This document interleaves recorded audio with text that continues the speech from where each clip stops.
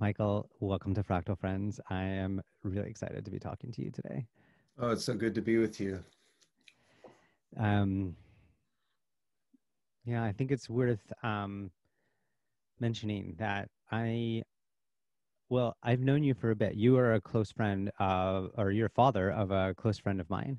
Um, and we got to meet um, last uh, last year at a gathering of people trying to talk about how do we build the future now mm-hmm. like what do we how do we practically do that and you came and you're um uh to bring like a unique perspective because we really wanted to be built. you know if we're building the future it has to be a future for everyone and so not only were you the parents of one of the organizers but you um uh you're an um minister who's you know working in a christian church you've been doing this for a long time and um obviously you have a, a, long life story and we'll get into that.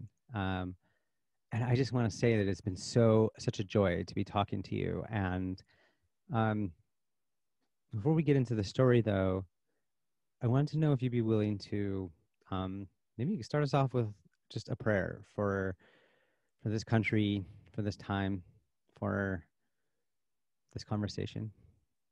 Absolutely. I would love to. So let's pray Heavenly Father, we thank you so much for who you are. We thank you so much for your love for every single person on this planet, Lord. We thank you so much for your grace that you've already poured out in so many ways over so many centuries, God. And we ask right now that that grace would permeate every part of the uh, particularly the American culture right now is we're in such a turmoil. There's so much uh, chaos. There's so much polarization. Father, we ask that you would bring your peace. And we ask that that peace would pervade every single heart, that we would lay down our weapons, lay down our shields, and that we would begin to see each other through your eyes.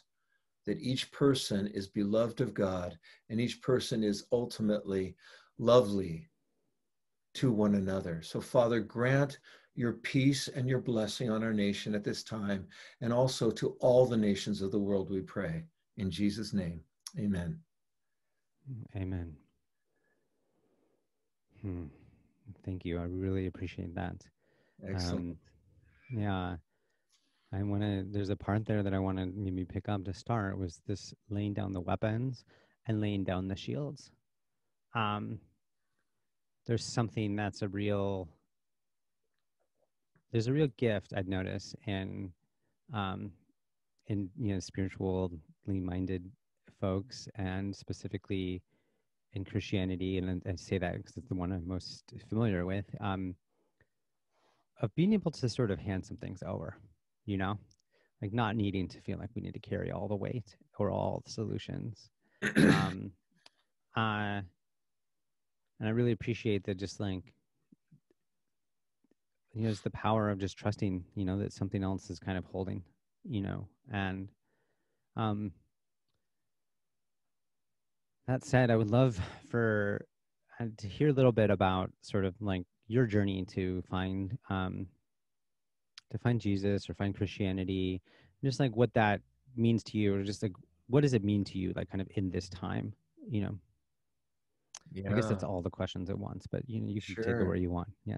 no, it has it has a lot of meaning to me. Um, just uh, so that everybody knows, uh, I was raised in San Francisco, uh, most of that in the Castro district, as a um, hippie kid.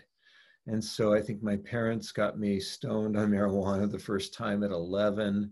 Um, and this was now probably 1970, probably 70 or actually, yeah, somewhere around that time.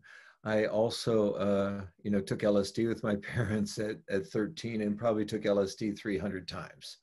Um, when I was 13 years old, we started a commune and we had, uh, you know, a large house and we took in probably you know, at any time, six or seven different guru followers or political activists or draft dodgers, because this was during the Vietnam War. Mm-hmm. So I was raised in a, you know, my first spiritual book was uh, uh, D.T. Suzuki Zen Buddhism.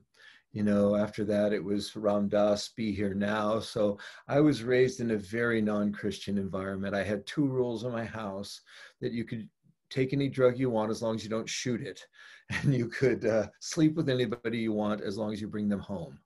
So those were the two rules that i had. And uh, so it was definitely during the whole you know post summer of love reality in san francisco and my parents had bought into it very deeply. And uh, anyway, so that was my world.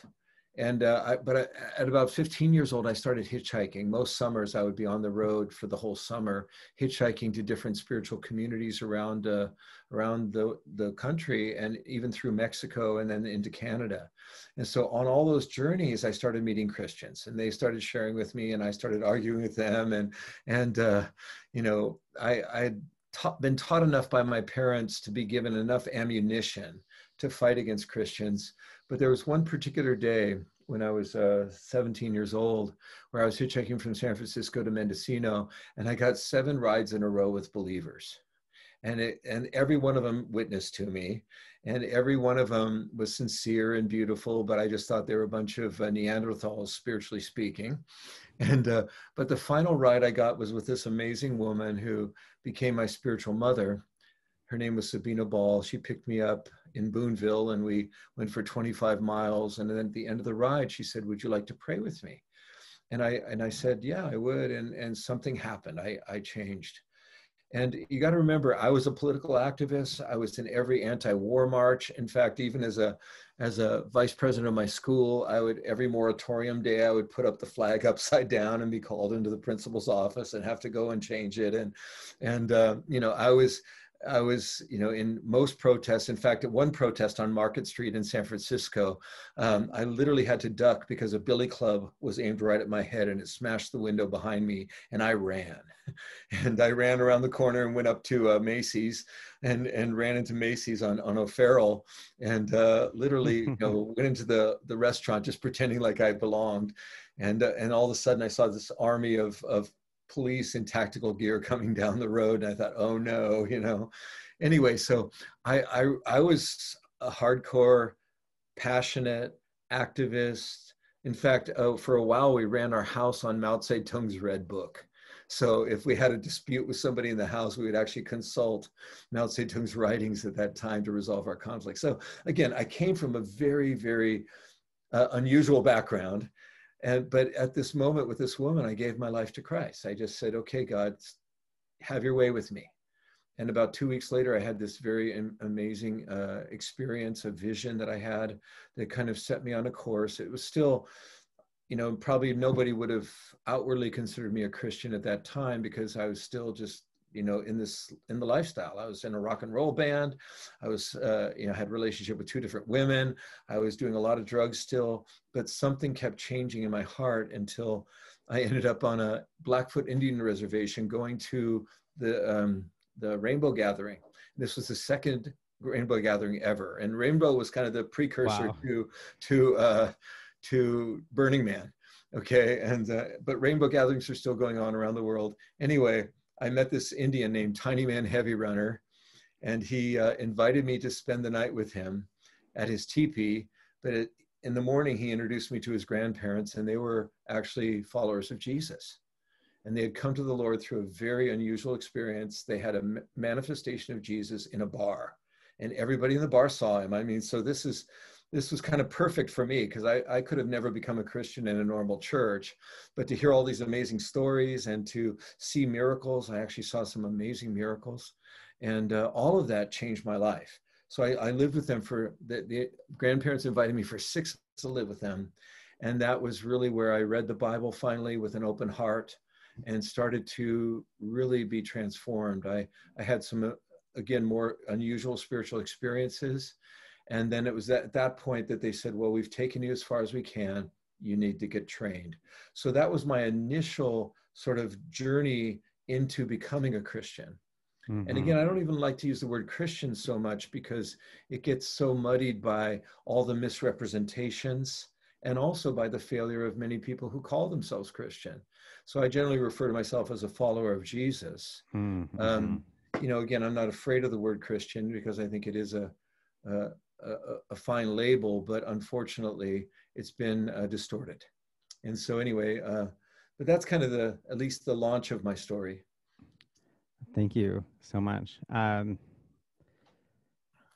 yeah, I really appreciate that, and I just like love the like going to the rainbow gathering on the Blackfoot Indian reservation, and then and then finding you know, uh, yeah, finding a path of Jesus with Blackfoot Indians, and, and like, uh, so um, yeah, I love how it's like it was like the perfect setup for where you were coming from for you to be able to go there. It was like exactly the path that you needed to be able to take to get there. Exactly. Yeah. Yeah. Yeah. Um, I'm interested in um because I think this is like I think probably could be a relevant theme for us throughout this conversation is like you know at some point you were, were there to fight you know you had judgment against these christians and and um you wanted to prove them wrong.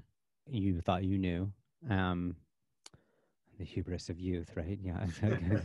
Um, and then you know and and then you get to this place where you were able to finally like open the bible with an open heart.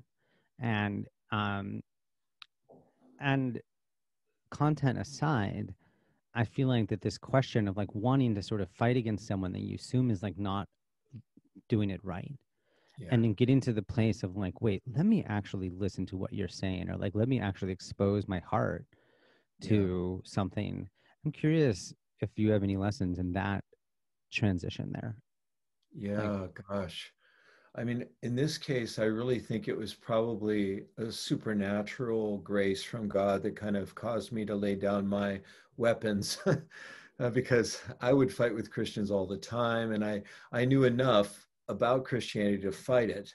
And, and I was very adept at most New Age philosophy stuff. So I was practicing yoga and, and Tai Chi at the time. I had studied Lao Tzu very carefully.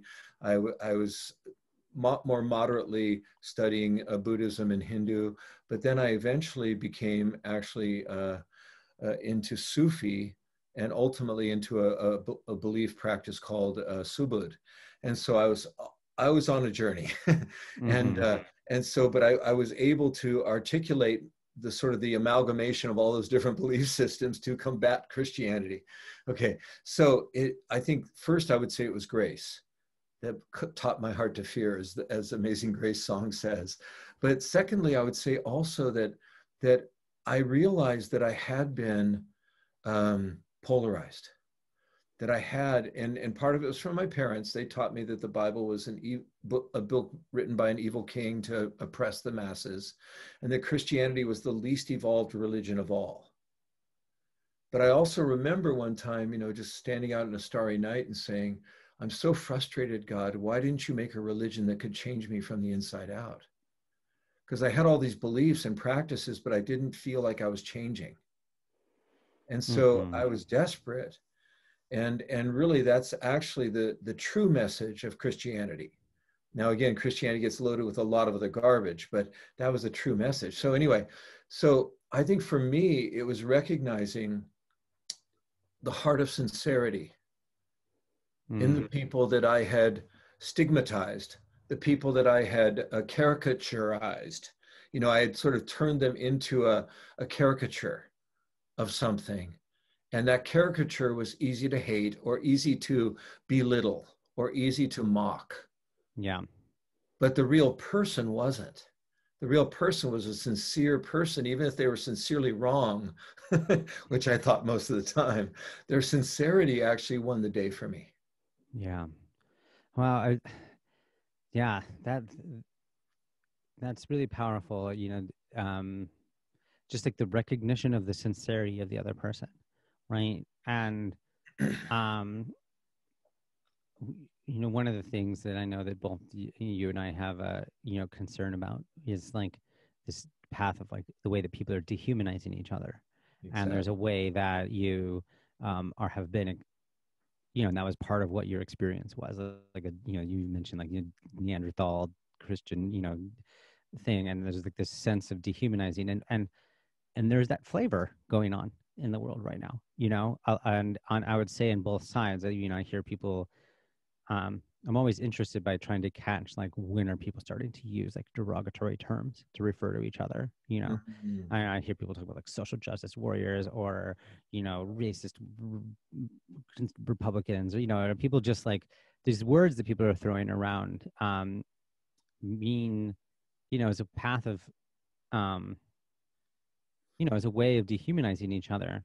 And what's really interesting is like a part of what this path you're you know like that your experience the wisdom of sort of your experience offers here is like can you recognize the sincerity of the other person like just like that this person actually really does care and Right. that they're a real person who's like really trying to do good in this world and this is like something that they see now you might disagree with what they're doing but at least can you recognize that they are sincere Yes. um, yeah. Um, what I really want to lift up out of this is this idea of grace. And there's something about um, that word has meant a lot to me at different times in my life. And um,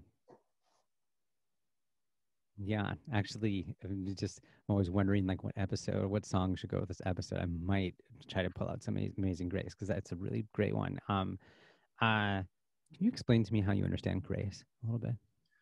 Yeah. Well, grace is the free gift. I mean, that's literally what the word means in its original uh, Greek form.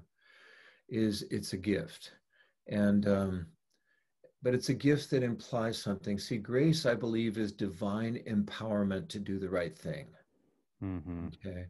Now, grace is a little different from mercy because mercy is not getting what you do deserve. Okay. Grace, on the other hand, is getting something you don't deserve in the sense that I didn't generate this. This is just given to me apart from anything I did to achieve it. So grace, it, and that's really where I think the the grace that we are called to extend to one another should be to some extent above and beyond the goodness or the faults that we see in each other it's it's it's a, a, an offering and and again you know just so your listeners are, are clear you know my life for the last 45 years has been built increasingly on what i would call a, a biblical worldview Right. I, I, I and and so again, and this is something that we need to understand as we're extending grace to everybody, is that every single person has a worldview. They have a set of experiences that have informed a set of of uh, uh, lenses that they that they wear to see the world, and those lenses become uh, the framework by which you organize your responses to life and others. And and so what i have to battle to do in my uh, personal battle against polarization in my heart is i always need to be able to keep in mind the fact that from a biblical worldview every single person on this planet is somebody that god loves so much that he sent his son to reach them Yeah. so it's like for me to hold uh, uh, uh, an animosity towards somebody to for me to be isolated or alienated from somebody because they're operating in the context or of their own worldview puts me down on the the the playing field of this for that and tit for tat and so forth but part of my responsibility in my worldview is to rise above that and to be able to see each other through the eyes of love Mm-hmm. Mm-hmm. and Yeah. also to see each other through the eyes of of the victimization of a broken world Right. Yeah. I there's one of the after our sort of prep conversation for this co- interview, like one of the take homes for me was, um, there's like a real, you know, like there's a real gift that's available here. Um, because like the uh, you know sort of my worldview is you know that like each of these different political perspectives cultural perspectives like has something to offer and i also am assuming that it probably has a shadow side including my own right and that um and that i'm an imperfect person trying to do good you're an imperfect person trying to do good in this world and that's kind of what we all are and um one of the lessons that i was like remembering that's that like a like a Christian worldview can offer to this world right now is yeah, we know you're a sinner. We know that you are flawed. And there is a path to redemption. Right. You, you know, and and actually, you know, someone already did a lot of hustle to be able to give that to you. so um and um and and whether or not um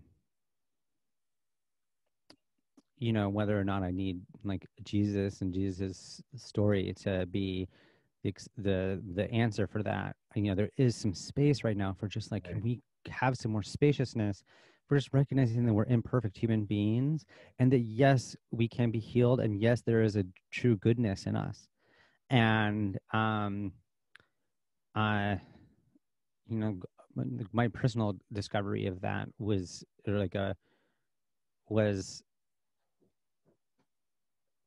like a spiritual experience that I had was um,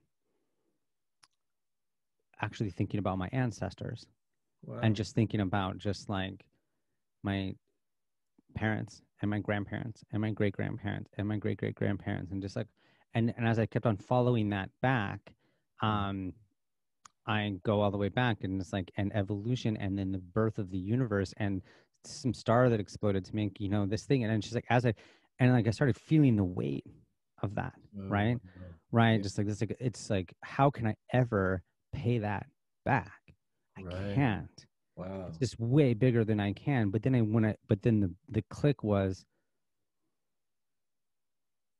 wait this was a gift yes. this is the free gift like all of those generations before me and all of the time before me like was hustling to get so that i can be here and be a free human and that now I get to give that gift forward, right? right? Like, how do I show up, and what will my descendants in ten thousand years look back and say, um, damn, they got through the global, the global turn, you know, reconstruction of 2020, you know, and just like so grateful to yes. to them for that and you know, now we're humans, you know, just all around the universe or whatever, whatever that 10,000 year future. Yeah. And that actually is the line from Amazing Grace, right? When we've been here 10,000 years, bright shining as the sun.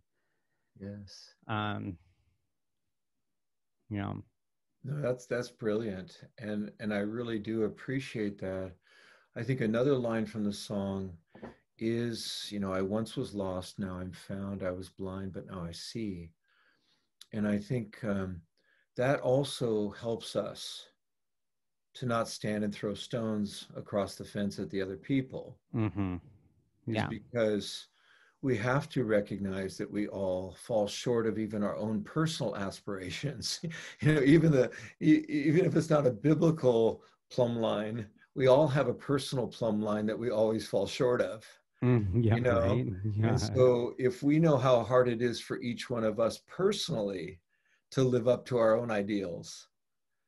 How can we be so angry at the other side of this equation, whatever it is, if it's political or if it's religious or if it's anything else? Mm-hmm, How mm-hmm. can we be sitting in the seat of judgment towards one another and condemning one another without, first of all, recognizing that weakness in ourselves? Okay. Yeah. And then the other thing that I think you brought up just a second ago, which is so good, is also the, the recognition that because all of humanity is flawed to some extent, then also all of the structures that we build and all the systems that we have, even our political governments, are flawed to the extent that all humanity is flawed.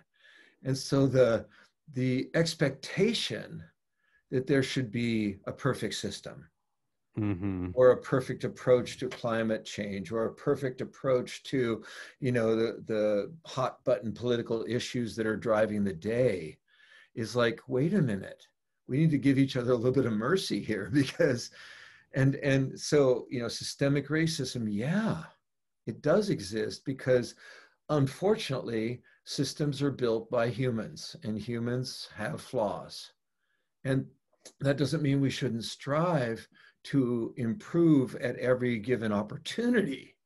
But on the other hand, if you look back 400 years when slavery started, the whole world was doing slavery the Zulus were doing slavery, you know, the Chinese were doing, the Japanese yeah. were doing slavery, the Vikings were doing slavery. So again, to judge 400 years ago and not recognize the progress of humanity is also a, a, a bit of a narrow viewpoint that can aggravate the, the, the polarities mm-hmm. at a level that's just unhelpful.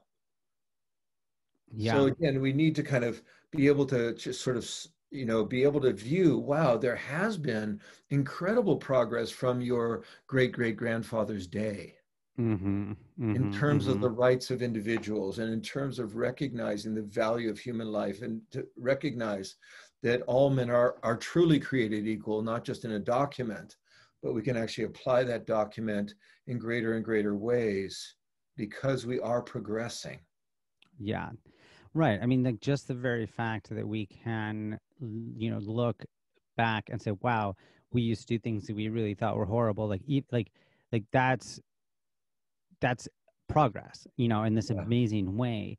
And, um, and there's something about not, um, you know, like looking at that past, like you know, necess- we don't need to, you know celebrate it, but we can celebrate the path that it got to that we got to here. Exactly. And now here we are. And so like let's just, you know, like a little bit of like celebration. Like here we are right now. This is great. And guess what? This journey of progress and we get to keep on doing it. Absolutely. Um yeah. And um and I really appreciate that idea of just like this tone of like perfectionism, like it's something that's like feeding into the polarization, right? Just like yes. we're not perfect yet. Like, you know, let's get angry about it, you know, and and it's and um yeah. Um well, I want to talk about that a minute more, but I do want to sort of capture just because it's such a beautiful, like, because it's kind of this like up theme right now. Is like, I don't know how people know this, but the song "Amazing Grace" is written by um, this guy named John John Newton, I think was his name. Yes, yes, you're yeah. correct. Um, and he um, was the captain of a slave ship that was traveling across the Atlantic, you know, for many years, then found God and and then found grace.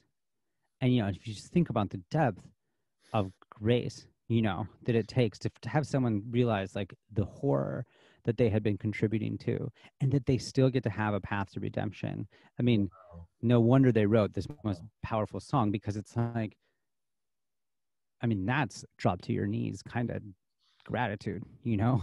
Yeah. like, um, it's like if I if I can be redeemed, then all of us can be redeemed. Absolutely. So um, beautiful. yeah. Wow.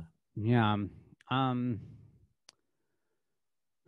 what I want to pick up here though is this like piece about like perfectionism and just, um, you know, like you know we're struggling right now around like how are we supposed to do things you know it's like kind of the question of the day like how do we want this country to be how do we want to um, reconcile with our history and um and how we want to reconcile with this moment you know like what's going on right now and um i think that you and i have some alignment around this idea that like we could use a big dose of forgiveness mm. humility and that like and and see like some of the dangers of maybe like righteousness or pride you know of just like that sort of like i'm right and you're wrong kind of attitude yeah. gosh if i could just take anything out of the world it would just be like right and wrong you know it's just yeah. like i don't know just like just, just remember there's a gray gray area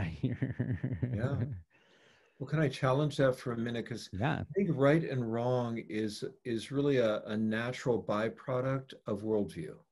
Yeah. In other words, I hold convictions that I believe other people who hold different convictions are wrong. Mm. I think the difference between is not a difference of right and wrong, but a difference of I'm good, you're bad. Yeah. You know, that in other words, when because I think it's it's it's a normal. There's actually two words for judgment in the scripture. And one word for judgment is actually more effectively uh, translated to be discernment. Mm-hmm. And the other one is condemnation. Okay. And there's a big difference. Jesus never forbid discernment, but he forbid condemn, condemnational judgment. And this is important because when we start to condemn the other side and we start to, in a sense, condemnation is the removal of any possibility of redemption. You know, you're bad and you will always be bad. And I think that's where the difference between punishment and correction. Correction is discerning a problem and, and making it right. You know, punishment is saying you failed, now you're going to pay the price. And I think that the issue of judgment is really at the root of so much of the polarity. Yeah. Is that each side has judged each other instead of seeing each person's position in the light of their own worldview and then pointing out what you believe are the wrong thoughts, but also at the same time not condemning the person. Right.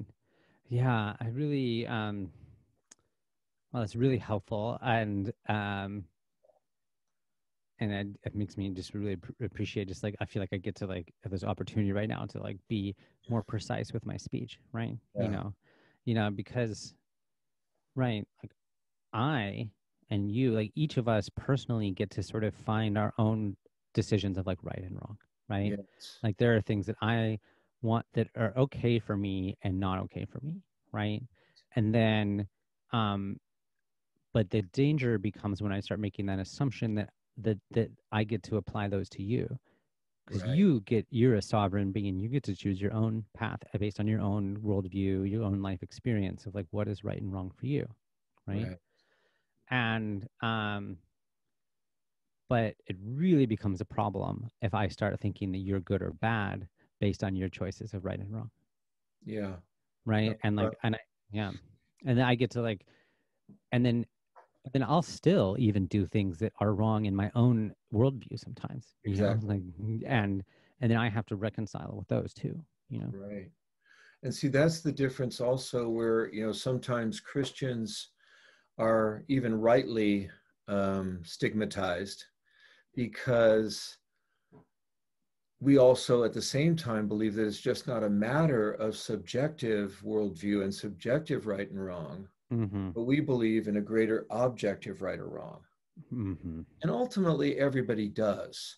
Everybody thinks that their worldview is the objective truth by which everything else should be measured.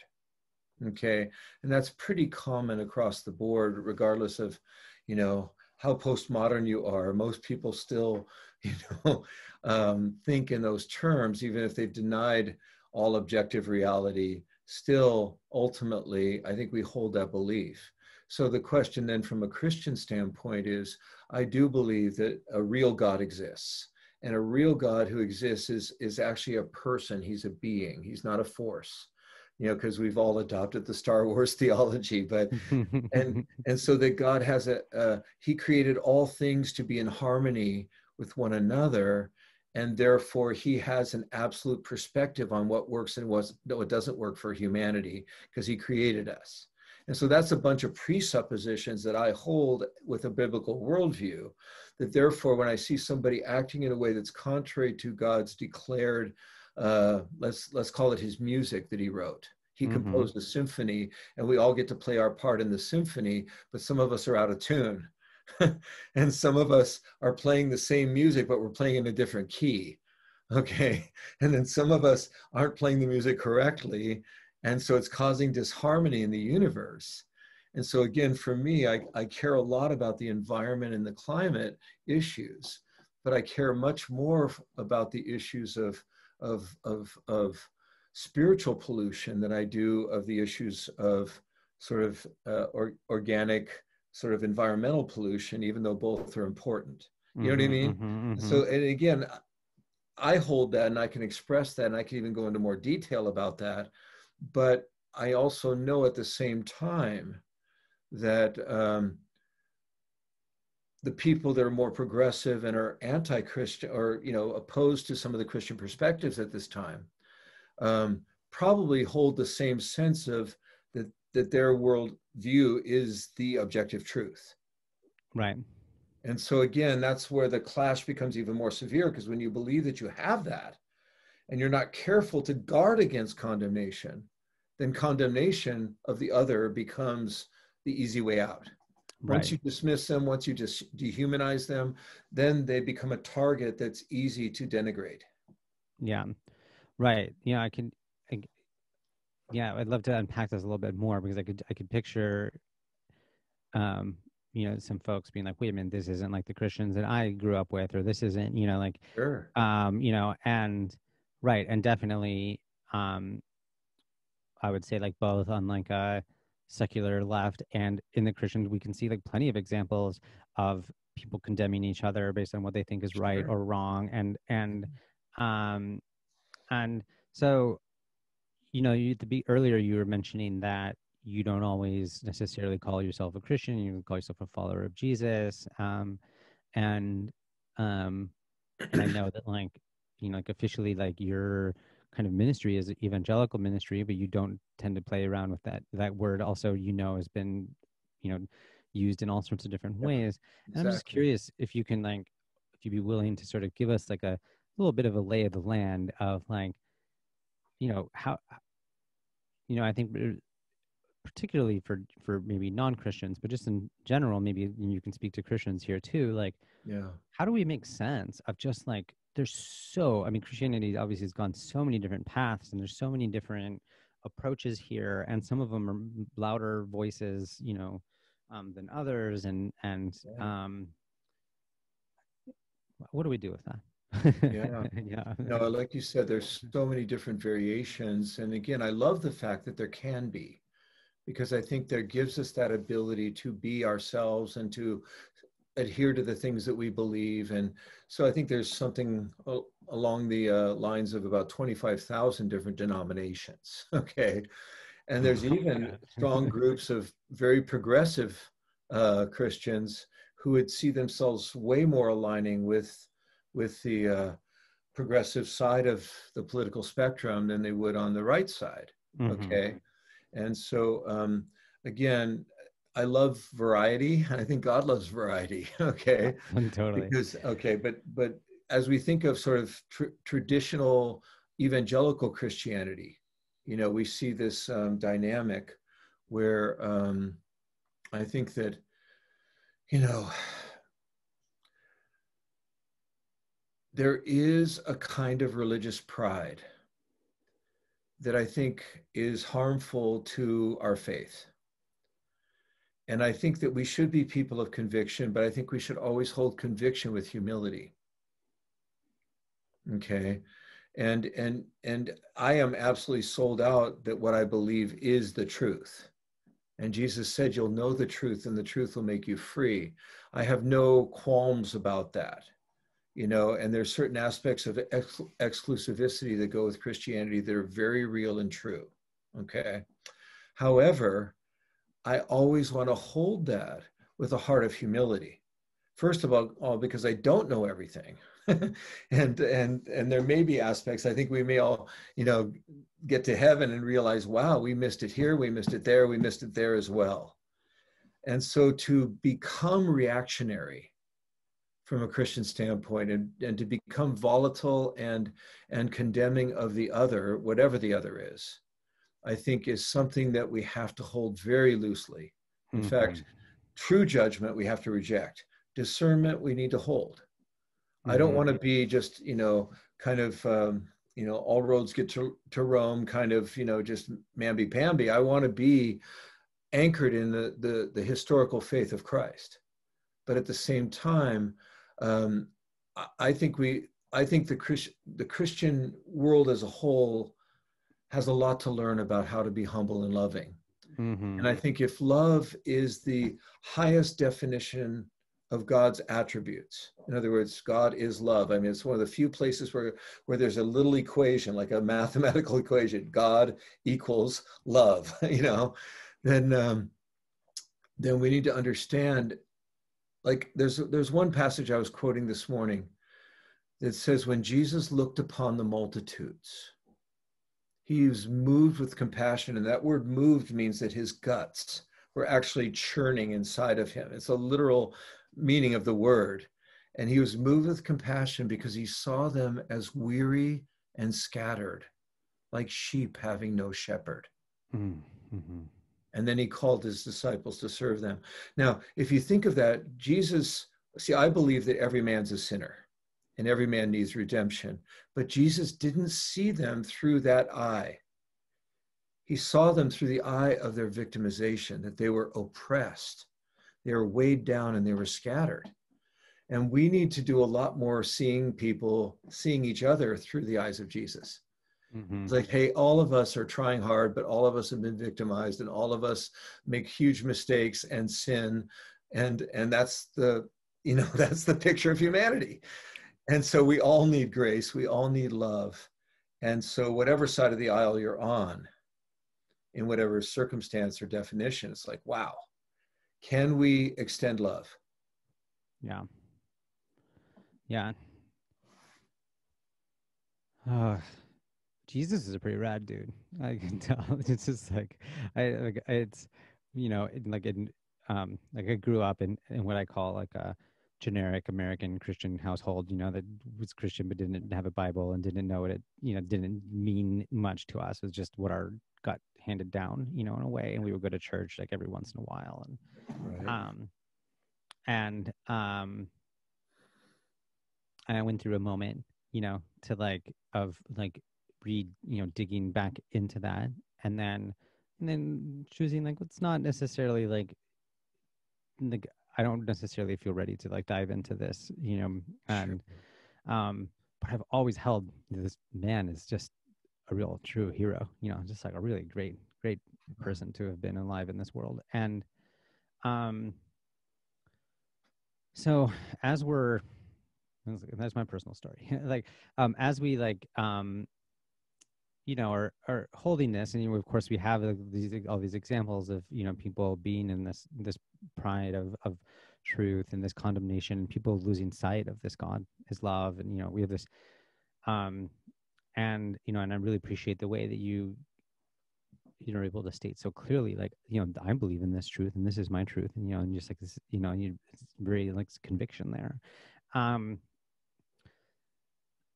how do we then hold this like pluralistic you know country that we live in where there's like all these different folks. And um it's like how how do you like hold your truth your biblical worldview um and then continue to relate to this you know country or world that has a whole bunch of different things going on? Yeah. No that's a, such a good question. And i think that um let me answer it by giving a little bit of biblical history, if I can. I would love that. You know, yeah. That God set aside a group of people. He appeared to this man named Abraham and his wife Sarah. And um, they were in a very pagan land called Babylon. And God called them out to go to a new land that he was going to give them. And he said, From your offspring, I will bless the whole world. But in order to bless the whole world, I need to set you aside as a, as a set apart group of people called the Jews. Mm-hmm. And so the Jew, Jewish tribe began with that kind of call. And then God made them a very exclusive tribe. They weren't supposed to intermarry with anybody. When God gave them the Holy Land, He wanted them to make sure there was no other people. So they exiled all the other people and had war with them. That God wanted this because it was ultimately necessary to have a set apart people. And that's uh, and the reason was is because ultimately they wanted Messiah to have a place to land when God became flesh that would actually be set apart to him. Okay. But but what happened was is they kept disobeying God and God sent them back into Babylon many years later as captives. Okay. So what we have is we have the first system, which was really established by Moses about 500 years after Abraham, that was a legal system designed by God, and it could be called a theocracy. In other words, God was the boss. Right. And interestingly, and we can talk about this later if you want to, but just the way that God set up an economic system with Jubilee and with, with Sabbath was to keep the rich from getting richer. In other words, everything was under God's authority. You know, they had a free market system, but he had correctives in place that kept it from going too crazy. All right, that's an interesting thing. But there was also other laws. There was health laws, and then there was moral laws, and so forth. And those laws were maintained very severely. All right. Fast forward though to this captivity season, when they were going into captivity, the prophet Jeremiah says, "Wait a minute, you're going into another land under a different leader.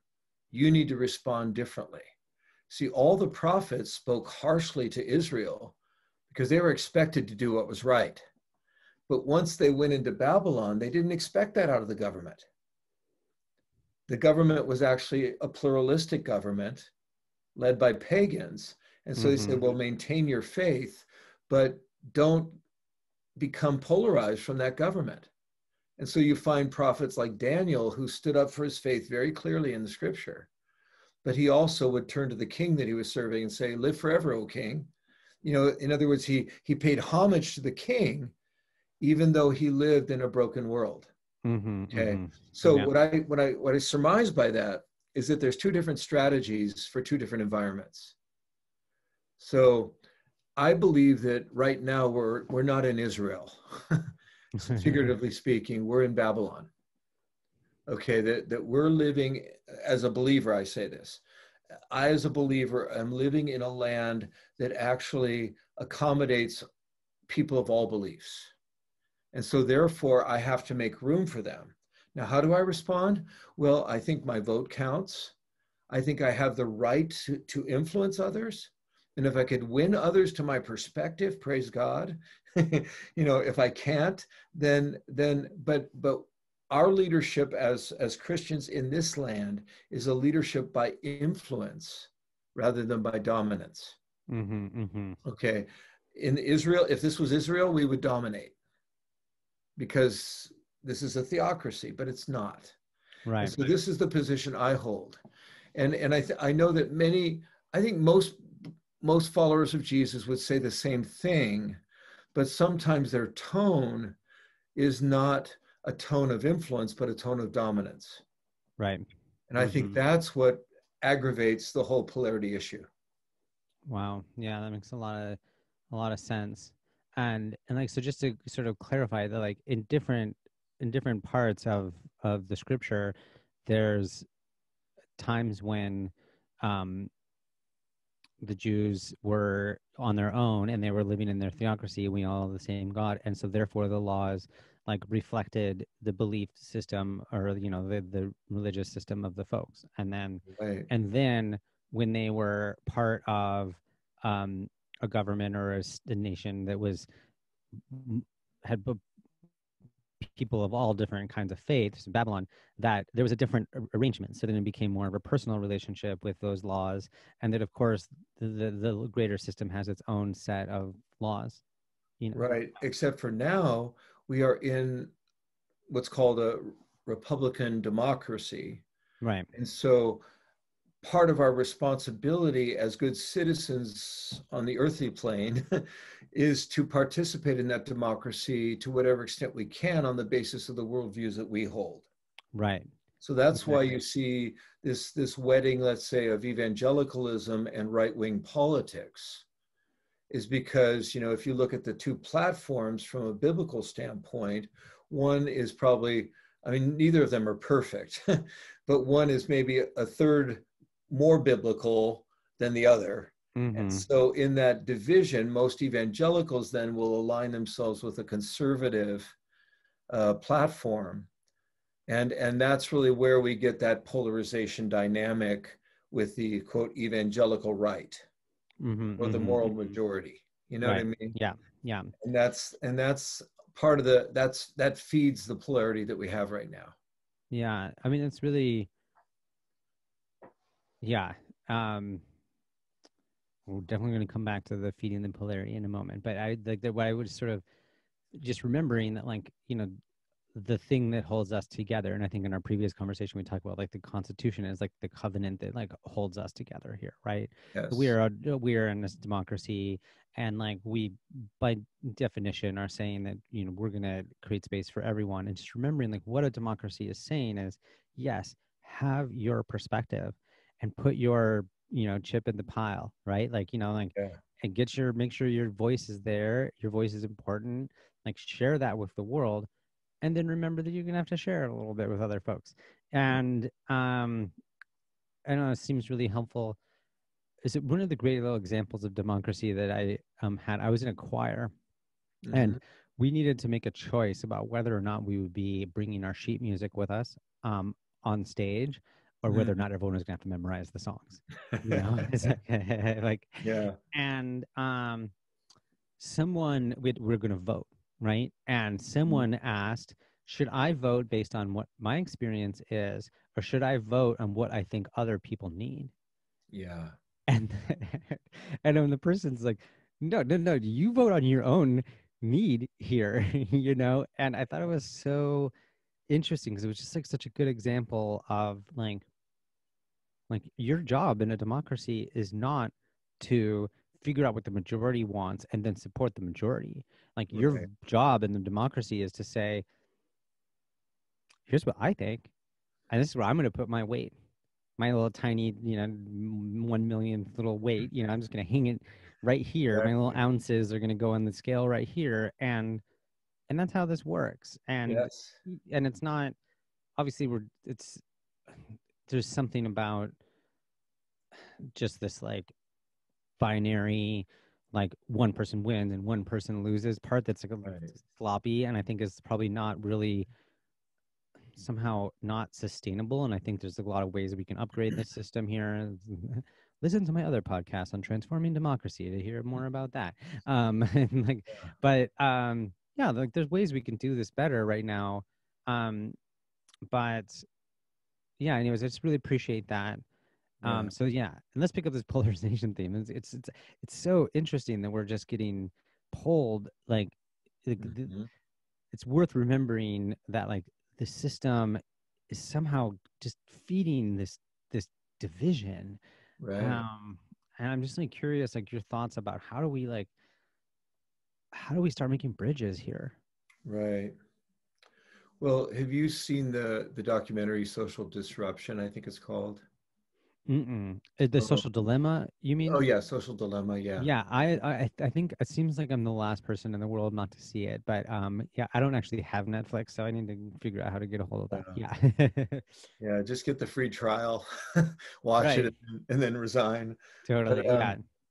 But you know, I think what they're seeing in the social media world is just sort of a microcosm of what's going on in the bigger world.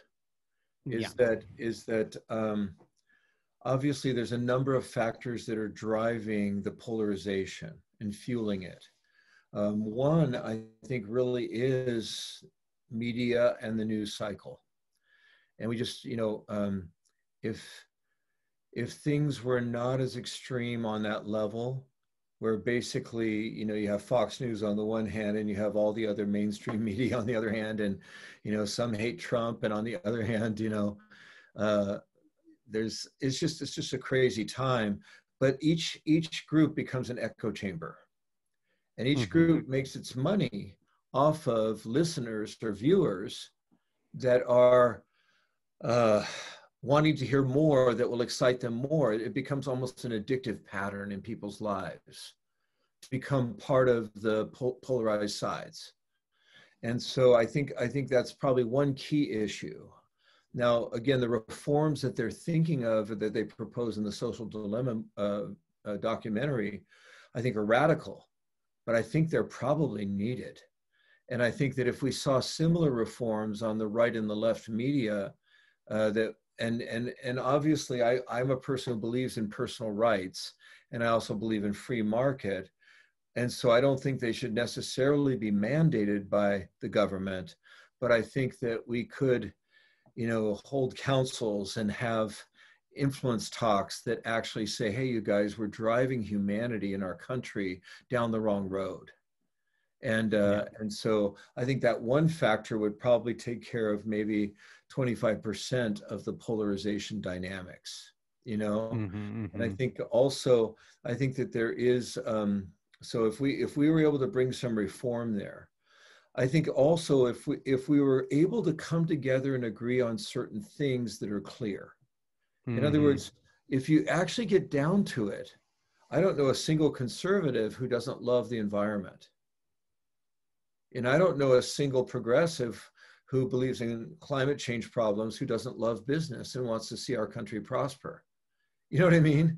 It's like it's it's only the fringe elements that are at war with each other and most of us actually have a lot of common ground on a scale of 1 to 10 it may be a, a 2 and a 4 you know or a 3 and a 5 it's like we're that close together you know i don't I, like the abortion issue i don't know anybody who believes killing life is is right you know but also we deal with the issues of women's rights. And so if we could have that conversation you know and on the other hand uh, you know the passion that's that's in most pro-life people is based in their convictions about the nature of god and the and the heart of god and and and uh, that's why they're passionate about that. I don't know anybody who doesn't feel like the foster system's broken and we shouldn't be doing more adoption. Mm-hmm, you know, mm-hmm, I don't mm-hmm. know anybody in the world except maybe a pimp who believes that sex slavery is a good thing. You know, in other right. words, or or imprisoning, uh, you know, uh, blacks for uh, you know victimless crime, kind of, uh, you know, those kind i mean all of that i think all of us hate police brutality you know? Yeah yeah. Like uh, um, so i think eh, we're actually way more closer than we realize.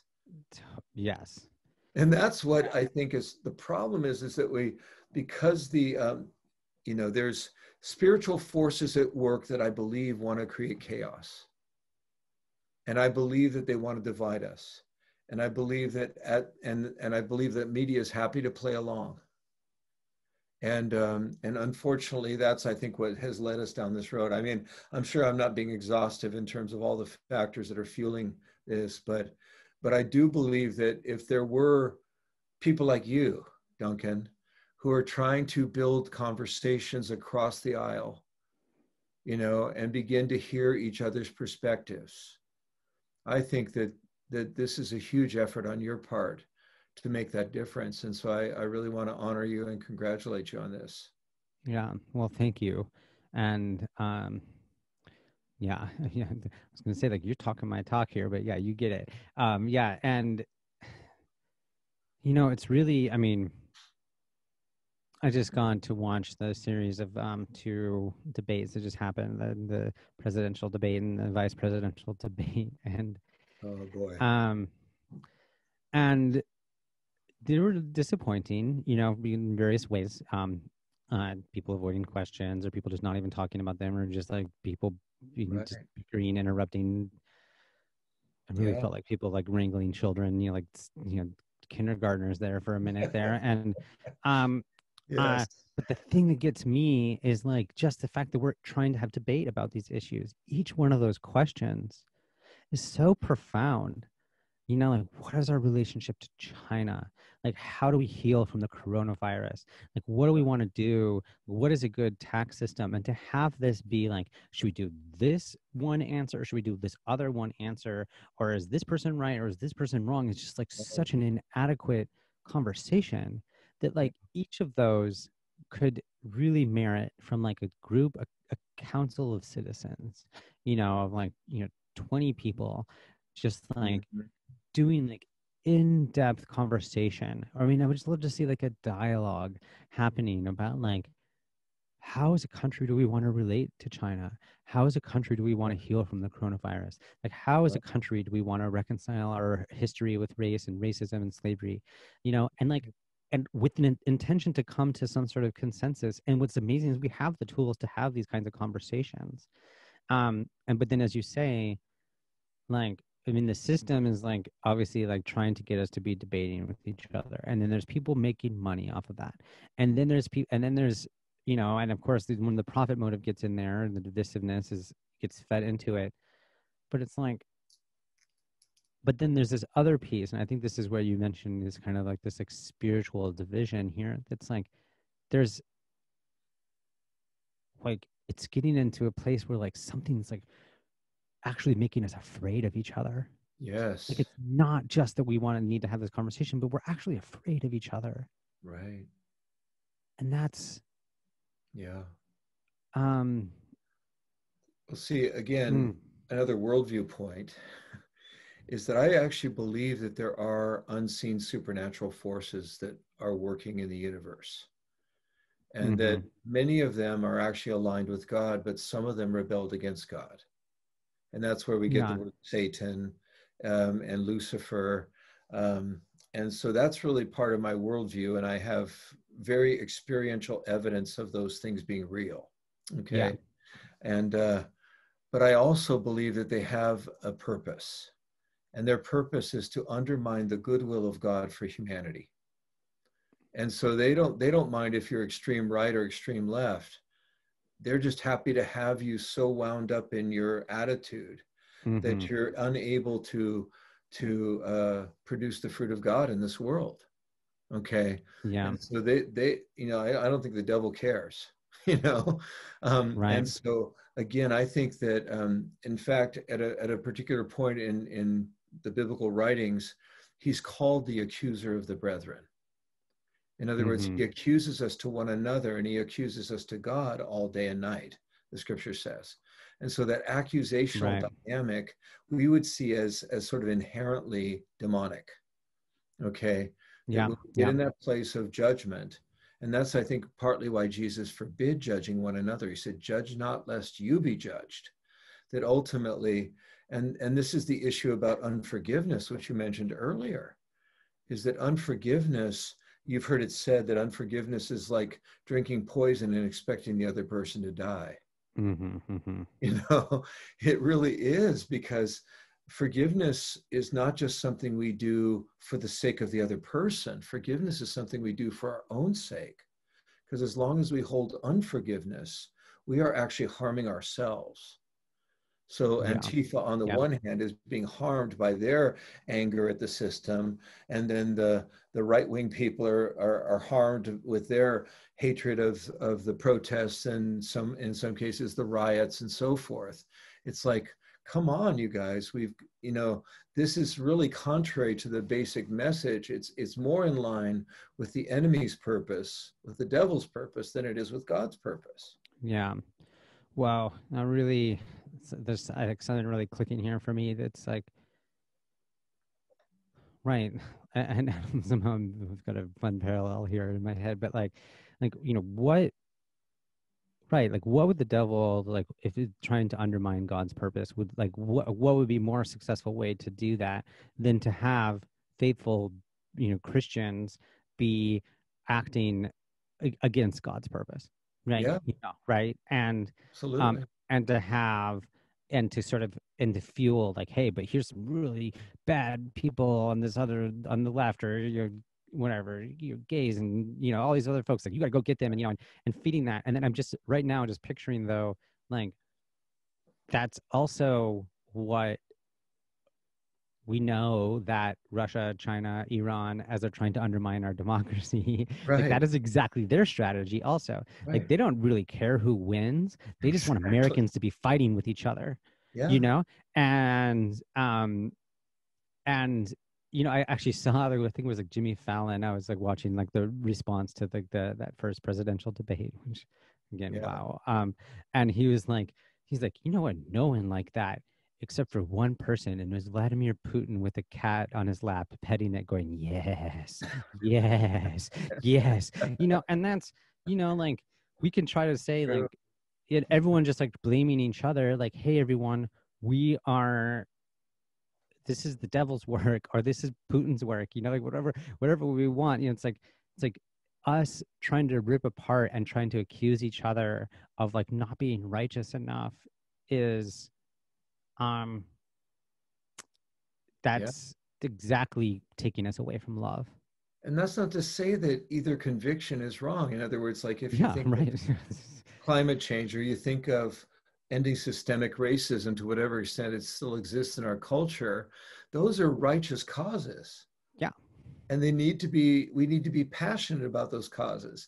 The same thing on the other side of the equation you know, to stop the chaos in the land and just, you know, all of the economic issues that feel threatened on the right side and the abortion issue and, you know, all those things. They're righteous causes in my estimation on both sides. Mm-hmm. So I, I don't fault somebody for being passionate mm-hmm, mm-hmm, in their perspective. because yeah. that because the alternative is just becoming passive and you know digging our heads into the sand and i don't want that either right you know? yeah so can we can we validate passion without promoting polarization? Mm-hmm, exactly. Yeah i'm gonna just like pull uh, again from one of the recent episode with um, david brubaker who wrote the book um, uh, when the center does not hold leading in times of uh, um, polarization. And his take home, and I'm just going to keep on hammering at this one because I want the whole world to hear it, is affirm your own dignity, affirm the dignity of the other person, speak your truth, and then keep the connection. Mm-hmm. Right. And it's just like have your conviction and then just remembering that both of you are humans in relationship with each other preserve the relationship you know and um I think in that spirit, I would love to try to see what might be like to lessons from like what are what are some lessons that we can come up with here about like how a conservative might speak to someone who's progressive you know about their values or about the world um and and then how might what might be some strategies for progressives to speak to conservatives you know as you as someone who's like crossed this, you know, been in both worlds very much, you know, deeply. Um, I wonder what you, if you have any insights on just like, how can we relate to each other? Well, I think one thing is to make sure that as we communicate, we're communicating always the why and not just the what. Mm-hmm, mm-hmm. Okay. Yeah, that's straight out of like conflict resolution. You know, strategy exactly. is where we get into trouble. The deep human needs, we can relate to those. Yeah. Yeah. So the why, let's say, the reason I am pro-life adamantly, and I will always vote pro-life, is is a pretty significant why. So I believe that you know we will wake up as we get our technology better to see life in the womb. We will wake up 15 years later and realize that this is almost a parallel to what happened during the slavery issue, in my in my estimation that you know people were excusing slavery back in those days because it was convenient because it was you know everybody's going to have a slave it's it, the econo- economy depends on it what a horrible set of excuses i think we're going to realize now that women's rights are absolutely essential but there's an actual human being there that needs to be protected okay so i mean that that one issue so why why do you believe that well, this is why I believe. So when I sit down with friends of mine that are actually not pro life, they're pro choice, they say, well, we don't approve of the killing of a baby in a womb, but we also feel like women have been kept captive to uh, sort of the, the economy of our day through these problems. And we believe that this is a right exchange of rights. Okay, well, um, okay, now that I understand why, I still don't agree with you. I still believe it's wrong and I still personally hold a moral code that says, well, you know, we have to be, you know, I, I was part of the sexual revolution, but I don't agree with it anymore. I believe the sexual revolution was actually harmful to humanity. I believe the divorce rate went up, and I believe that most children are born in fractured homes, therefore, and most children now are living with lifelong wounds in their in their their, their relationships because they weren't raised as God had originally intended. Okay. Mm-hmm. So again, I hold this whole like it's again, it's a worldview. So please understand me. I'm not I'm not trying to preach at you, but but at the same time, if you understand why I hold such a strong conviction about just both sexuality issues, gender issues, and and the uh, issue of abortion, which really was to try to bring equality to the sexes, mm-hmm. at least initially. It did give permission to a set of lifestyle choices that actually harmed the family and therefore harmed the next generation and the generation after. Okay. So for me, again, I hold this as my why. Yeah. Yeah. You know, and, and, and if you can see that and you can say, okay, well, if I, if I believe that, I would probably hold the same position. And that's why I would say, hey, if there's no God in the universe, abortion makes perfect sense. Mm-hmm, mm-hmm. No, seriously, I can say that yeah. honestly you know, if there's no God in the universe, it, it is the sensical thing to do. You know? Yeah, and like but, certain circumstances, yeah, totally. Yeah. Yeah. So, but I hold a different perspective. And so again, if we can if we can get down to the why, Yeah. If I understand their why correctly, I would I would agree with it if there's no God. Yeah. You know? Yeah, that's just really good. Uh, I mean, um, I mean, one because it is like it basically in you know, in in conflict resolution or mediation or conflict transformation, like what we talk about is the iceberg of conflict, right? And it's like Yeah. what's sticking out of the top above the water is like what we usually are fighting about, but it's Yeah. actually what's below the water where things are crunching into each other, right? Oh, And right. and there's more there. Yeah. And so the secret is like let's get under the surface and find out what's really going on. Like why does this matter to you? Like what what makes this important, you know? And and I say like conflict is this opportunity to thrive because every time you're in conflict with someone it means you have a line straight into something really deep in their heart Yes. Yeah.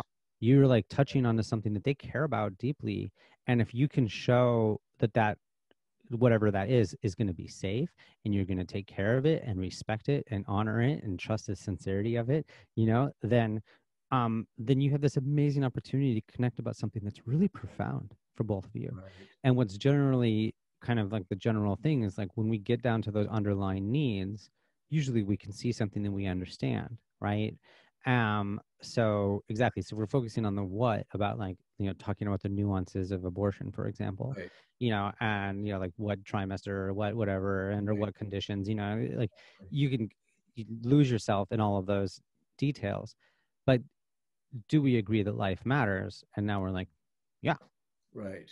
wow we're on the same page about that you know and okay so there we can start having this conversation and and but what i appreciate this also is that there's a way some this comes back to something you were mentioning earlier about like us like coming to um like what is the common ground like in our discourse like what is the thing that we can actually hold here together you Right. know and um and the woman Miki Kashtan, who does nonviolent communication here in the Bay Area, she started. She has this model, and I'll have to I'll put resources for this on the website. But Yeah. um, she talks about it the highest common denominator. You know, it's like what is something that we can agree on? You know, like obviously we can get down to like, do we care about life or do we care about you know, Right. like there's some deep ground things that are obvious. But like, what are some things that we can agree on there? And then how do we build around that? And that becomes the Mhm. seed of these kinds of conversations. Um, but just taking the time to say why. And then one of the best questions that I've learned about how to get to that why is um, tell me a story about your life that'll help Mhm. me understand why you believe what you do. Oh, that's so good. Because everyone has an answer to that question that's totally Yes. true. And it reveals their humanity, you know? Yes. And see, that's one of the things, again, that we have to kind of look at. I mean, that's why I generally tend, like, I don't mind protests. I think they're fine. Obviously, I'm horribly against uh, looting and, and, uh, you know, violence and, and rioting.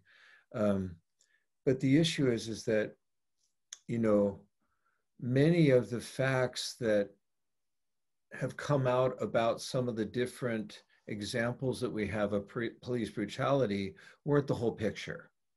Like the initial video was not the whole picture of what all happened, and Mm-hmm. even the most recent uh, discoveries around the the situation of Breonna Taylor, obviously her death is absolutely tragic, but was it a travesty? You know, and and and now that other facts come out, or you know, the the grand jury had its day and it it did its research and came up with its particular focus. Okay, are we still horribly uh, uh, grieved that she was killed? Absolutely, and and I I don't mind a civil, uh, you know, uh, gift of of twelve million dollars being given to their family. You know, praise God. Okay, Right. but but my point is, it's just that living together in a country where we expected that there would be division of opinions mm-hmm. we tried uh, uh, our forefathers tried to erect the best possible system for resolving conflict Yeah. and Exactly. it's pretty good i mean it's not excellent Mm-hmm. but it's pretty doggone good you know separating the executive from the from the uh, you know the legislative from the judicial i mean that was brilliant I mean, all these things. I mean, if you think about 1200 years ago, or no, 800 years ago, the Magna Carta was written. I mean, it's like, come on, like that was the first major advance in individual human rights. Yeah. You know, I mean, it wasn't that long ago in human history. And then 400 years after that, they came up with this document that was just so compelling and a system that would actually, and even the fact, you know, I know there's a lot of debate about the Electoral College uh, since the election of Trump, you know, because Hillary got the majority vote. But the reason that is, is so that every state would be represented. Mm-hmm. So we vote by states, not by popular vote. You know, so again, because otherwise California and New York would win every election. You know what I mean? And the whole middle of the country would be unrepresented. So again, these systems are great, and they obviously could stand some improvement. But, but my point is, is that at the end of the day, to remove polarity, because that's the point we're on, is we all need to be able to respect the outcomes. Yeah. And so, you know, when Obama was elected, the only reason I wanted to vote for him was because he was black. His policies I didn't like at all. Okay. But I like the fact that a black president is coming into our country. That was awesome. You know, that was great for me. Um, but I was, I was as disappointed as I expected to be by many of the policy decisions he made throughout his, his tenure. You know what I mean? Again, mm-hmm. as a you know biblical worldview based voter, I, I I didn't like many of his decisions. Okay, now again, but I respected it and I prayed for Obama and I I wanted him to succeed. Okay, yeah. and and uh, and obviously I think Trump, on the other hand, was a reaction to the Obama era that, mm-hmm. that the right wing people felt so underrepresented and so underserved by the Obama administration that they just chose the most, you know, outrageous person to, to be the president. Outrageous yet, might be the best single word there. Yeah. Yeah. yeah. and and so obviously there was some resistance on the right to Obama. I mean, politically, yes, a lot.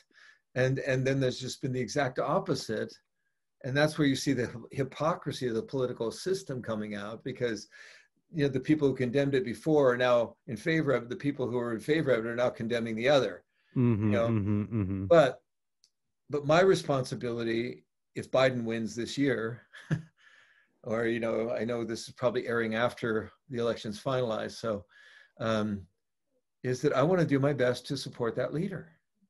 Yeah. You know there's a there's a passage of scripture that talks about supporting leaders where where paul is speaking to the roman church and this was during the time of nero mm, the persecution wow. against christians was deadly. And he said you know we need to do our best to honor the leaders of our land. And i think that holds true in our culture because we made a decision made, you know we're going to influence as much as we can and may the best man win or the best woman hopefully. And so the you know and and i think that that's where we have to if we are real patriots you know in other words not nationalists in the extreme sense of the word but if we really love our country and we understand that the constitution is probably especially having it written 250 years ago or whatever it is is one of the most evolutionary advances in humanity Mm-hmm, mm-hmm. It may have ever, even though we we failed to walk it out as it related to slavery and other issues and Native Americans, uh, and those are tragic failures on our part as a nation. But but still, it still serves to correct us again and again and again. Anyway, yeah. that's just a thought about that. Yeah, it's helpful.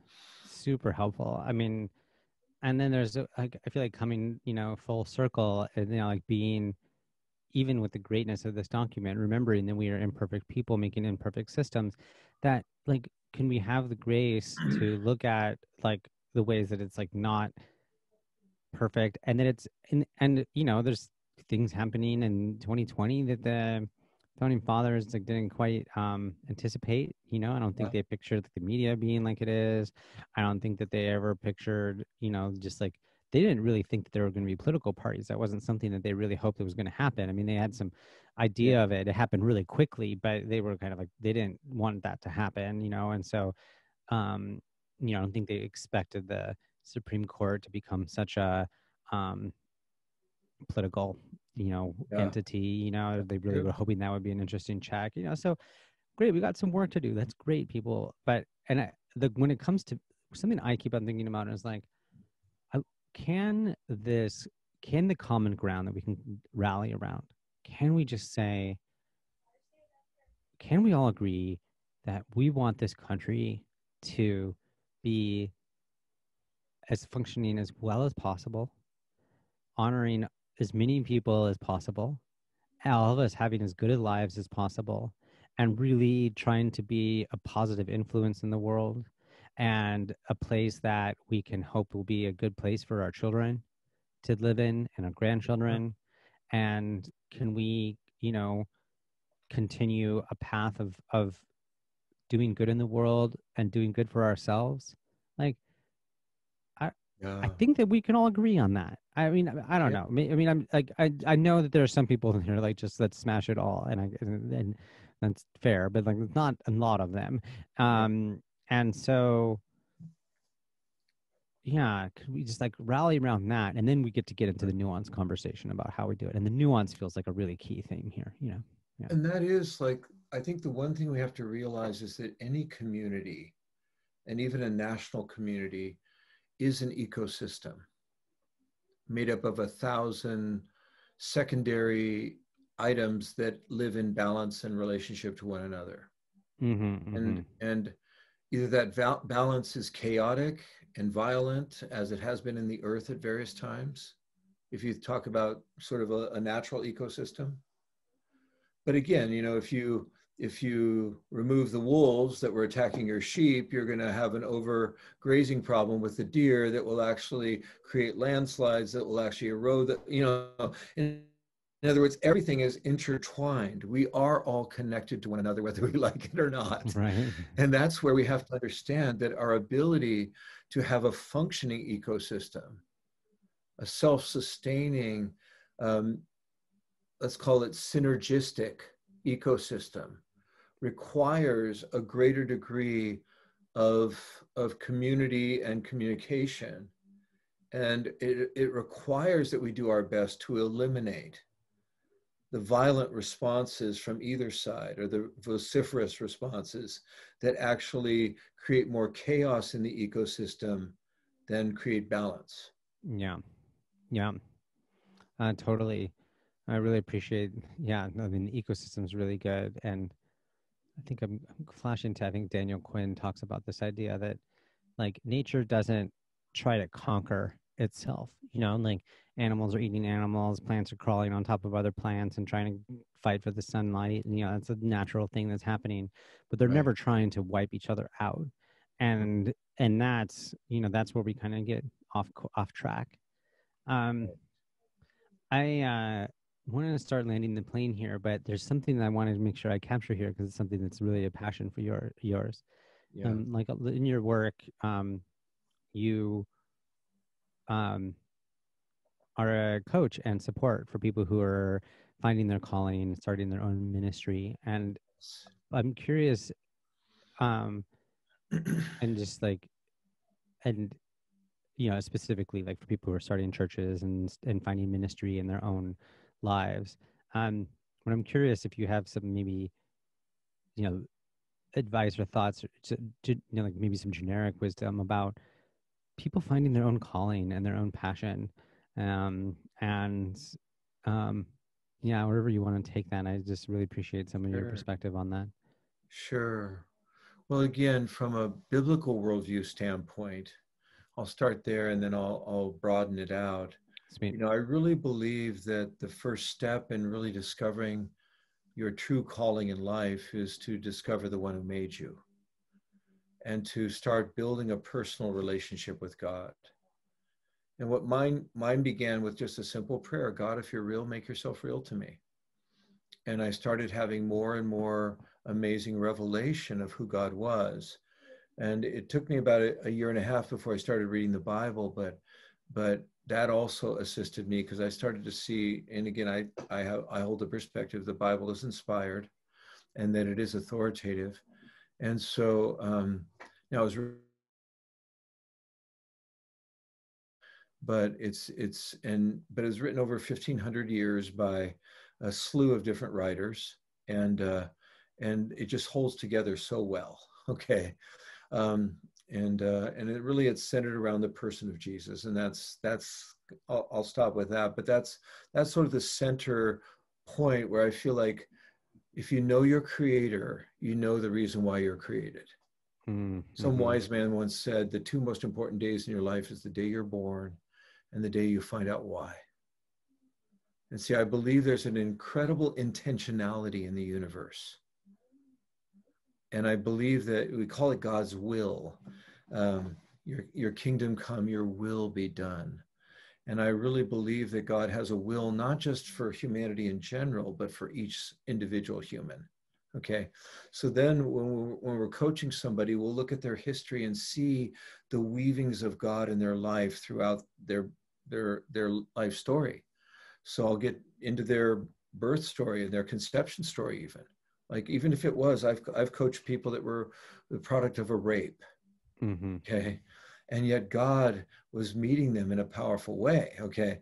So then I'll look at the formative experiences of their life, both the positive and the negative, because all of them have fingerprints of God's, because God knows us before we knew him and so there's this process and then and then i'll look at their their uh, the point at which they really connected to god for the first time see all of these are like little clues to me of their destiny and then i'll i'll go we have actually online a series of gift discovery tools where they're actually simple questions that people can fill out that give you an approximate understanding of your god-given gifting and then we talk about passions what are the passions of your heart so each of these things is part of the discovery purpose. And then finally, we end up at the idea of dreams. Like if you had no limitations of time, energy, or money, and you could not possibly fail, what would you want to do for God to make this world a better place? What would you want to mm-hmm. do? And just try to start with that as the point on the horizon. And then we help the person build a life map. And the life map is just a series of junctures you know, if you're traveling from San Francisco to New York, you know, you plan your journey. And, uh, and we want to help them plan their journey. And then we'll look at the growth goals, the sabotage points that might hinder them, the detours and the roadblocks. And most of that's internal. You know, most yeah. people have stuff inside, you know, pain and wounds and, and issues of kind of will rebellion stuff that they, they don't want to comply with whatever seems to be happening and uh, we have self-destruct mechanisms in our lives you know? And so um, uh, many of us have a fear of failure. A lot of us have a fear of success. Mm-hmm. and so we we sabotage. And so we want to identify those and turn them into growth goals that people can begin to set. And then and then we finally encourage you to uh, to attract a mentor and sometimes that can be a peer mentor, but sometimes it's better to have somebody that's been down the road or farther than you are. And so, uh, but if you have that, and then if you if you're married, you have a spouse that's walking this through with you. If you have, let's say, a circle of friends that they can also know your your destiny uh, goals and your and your life map, and they can support you on the journey. So that each of these things are are really because I, I I believe that there's no greater purpose in life and I believe that a person will never be as fulfilled in life than when they're fulfilling the exact purpose for which they were created. Mm-hmm. Wow. And so that yeah. could be that you're you're you're uh, ending sex trafficking in Thailand, or you're doing an orphanage in in Guatemala, or you're or you're uh, starting a, a, music group that's going to bless people, or you're building a business that's going to give a percentage to the poor, or you're you know it's like whatever it is that God's given you. You're planning a church, or you're you know you're a stay-at-home mom even if you want to be or stay-at-home dad you know? Because um, pouring your life into your own children is one of the greatest things you could ever do you know? So again finding those destiny dynamics and then and there's there's a bunch of sub points there but that's that's the overview. Uh, i i really um i really appreciate that and um uh yeah yeah I, I, I feel touched by it myself you know just like hearing this you know like i um you know i can think about yeah, like the place, like my birth story and my like childhood, and then connecting and knowing when I found my calling, and then, um, you know, and uh, and recognizing the self sabotage and the fear of success and the fear of failure, and and um, yeah,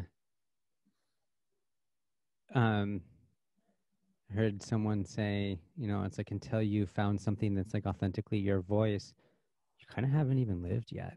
You know, it's like you're just echoing things out, and that's cool. You know, like it's a, there's a lot of a lot of learning we go through in life before we get to find our our voice. You know, but then yes.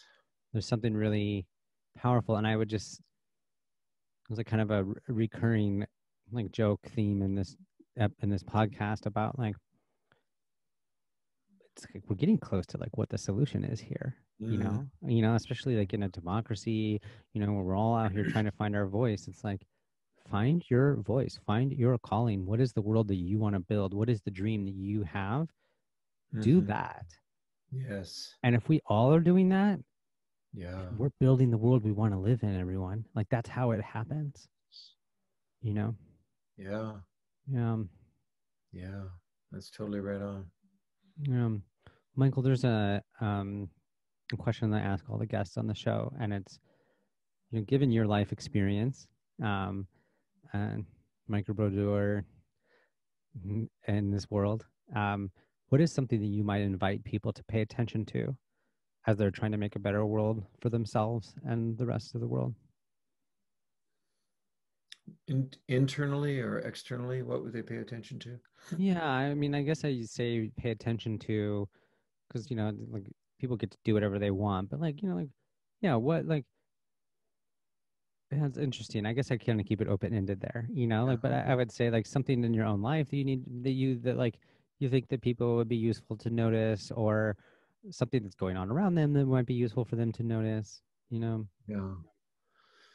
Um probably one thing that comes to mind is just learning to process your pain correctly. Because mm-hmm. life is painful. And uh, Jesus said, In this world, you're going to have tribulation, but be of good cheer. I've overcome the world.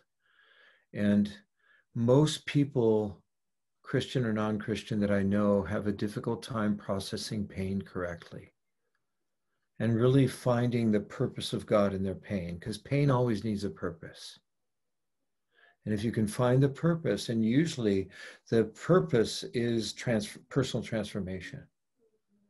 But the problem with most humans is that we either, on the one hand, become victims and begin to embrace a victim mentality.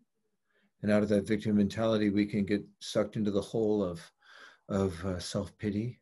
Mm-hmm and uh, or on the other hand we become a victimizer mm-hmm. in our pain. So either a victim or a victimizer the victimizer basically internalizes their pain and it becomes frustration anger and eventually rage and they end up harming other people and feeling like they have a right to harm people in the name of their their own opinion or or, or situation. And i think that either side is a mistake and yeah. I would call it a sin. Either side is a sin. But I think if you can maintain that center place where you keep your heart tender and where you appeal to God as the one who didn't ordain the pain, but is the one who is with you in the pain. Okay. And you're able to process and just say, okay, guide me through this. You know, the Psalm 23 is such an amazing song. Even through the valley of the shadow of death, you are with me. And your rod and your staff, they comfort me. Um, you prepare a table in front of my enemies, and my cup runs over. I mean, that incredible statement that God makes, or that's made on behalf of God, is this this if you process your pain correctly, you will have the most effective, efficient movement towards personal growth and become the person ultimately that has the least amount of baggage and the highest amount of potential to fulfill God's purpose in your life. Yeah. Well, I really appreciate that. That's really, really good wisdom there. Um, you know, one of the things that, you know, it's like so many of the problems we have in this world is this trauma, you know, it's hurt, it's pain, you know, and, um, and in the, in that begin with David Brubaker, where we talked about polarization, he has this, um, uh, this chart created by strategies for trauma and awareness and resilience, which is part of Eastern. Mennonite University, and they have this thing that's called the cycles of violence, and and basically like a traumatic event happens, and then people will go through a victim cycle, right? And they'll either just get stuck in a victim cycle or they'll spin over into a aggressor cycle, mm-hmm. you know, and um, which then of course creates more pain and then other people get pulled into the cycle right? And it just you can imagine that's just echoing out and echoing out. Um, and then they also have another um, the model of like how do you how do you move out of it? And um yeah and it's just something i think i said way at the beginning. This is like one of the real um uh i mean i think the benefits of having a biblical worldview at this time or in life um and um I know this is also something that people find in like a 12 step process. Mm, just yeah. like handing it over. Sure. You know, um, I know that in the 12 step process, there's this idea that like you're not the director of this show. Mm-hmm. Yeah. Like you're not like you don't get to control all the shots and all the lighting and all the ways and all the actors. Like you like they're like that's not in your hands. And you just get to do your part. And um and like you get to i mean as much as it sucks like you're gonna have to work through your own pain on your own but not necessarily on your own you know right. and then like that That's right. the, whether it's whether it's god or the universe or, wh- whatever right. you want or the earth i mean just like give that to the earth you know yeah. you know just like whatever you need like but that's our that's our gift to the world and to ourselves is to like not carry the pain, not let us hold us back, and not give it to other people. Yeah. And along those lines, I think most people I know, even people who claim the lordship of Christ in their life, they are still the sun in their own solar system. Yep. and I think everything revolves around them, and Jesus is just one of the planets. Okay. Yeah. I think when we actually put, and again, obviously, I'm speaking from a biblical worldview. When Jesus becomes the sun in our solar system and we relegate ourselves to being one of the planets, that's where, you know, life begins to shift. Mm, mm-hmm. And, uh, you know, there's a, there's a scripture that says, Jesus said this in the Sermon on the Mount, which I recommend every person to read, even if you don't, you know, follow Christianity at all. The Sermon on the Mount is is like the, the Constitution, but it's even 10 times better. Um, but it, he basically said, you know, seek first and foremost the kingdom of heaven and God's righteousness, and then everything else will be added to you. Mm-hmm. You know, it's a matter of priorities there. So, yeah. Yeah. again, it's it's it's key. Yeah. So, if you just need a reference, it's it's actually in Matthew chapter five that the Sermon on the Mount begins with the amazing statement, blessed are the poor, for the kingdom of God is theirs, you know. And um, anyway, but I appreciate that. Uh, it's so good to talk to you though. This is great. Um, and I'll um, I'll make sure that that that, that we we get that up on the the Fractal Friends page for this episode, um, so people can find the Sermon on the Mount there if they don't have have a Bible on hand. Um, yeah. uh, Michael, if people want to find out more about you and your work and get in contact, how how can they do that? Yeah, well, there's I have two websites that you're welcome to check out. One is called pastorscoach.com, and the other one is um, destinyfinder.com. They are monetized, but I don't receive any money from those sites, at least not yet. Hopefully, I will. Um, but also, um, michaelbrodeur.com is another source for me and then uh, you know i'm on social media as well so i'm on face facebook and and instagram and uh and again you know um my audience is mostly Christian, so if you're not, please don't be offended if you see some Christian stuff there that is more intense. Um, again, you know, I'm I I really do consider myself though a reconciler and a bridge builder. You know, I'm not very excited about building any walls. right. And so um, I want to build bridges instead. Yeah. So yeah, so feel free to reach out and uh, you can private message me like on Facebook or whatever and That'd be great. Yeah, awesome.